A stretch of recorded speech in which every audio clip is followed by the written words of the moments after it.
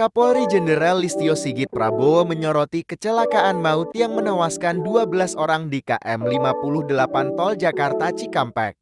Sigit mengatakan akan ada evaluasi yang dilakukan terhadap insiden tersebut. Dia mengatakan musibah ini perlu menjadi bahan evaluasi. Jenderal Sigit mengingatkan pengemudi agar mempersiapkan diri dengan baik. Dia juga mengatakan bahwa fasilitas pelayanan untuk tes kesehatan sebelum mudik juga telah disiapkan.